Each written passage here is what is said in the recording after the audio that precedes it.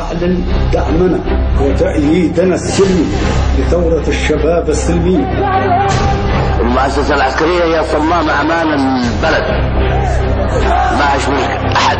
أعلن انضمامي إلى ثورة الشباب إلى ثورة الشعب.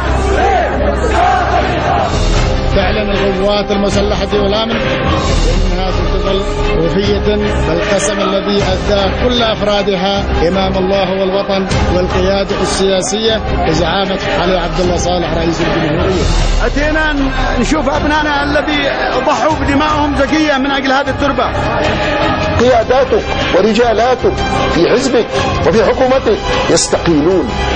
ألا يكفي هذا؟ أصوات نشاد غير مقبولة. فاتكم القطار فاتكم القطار.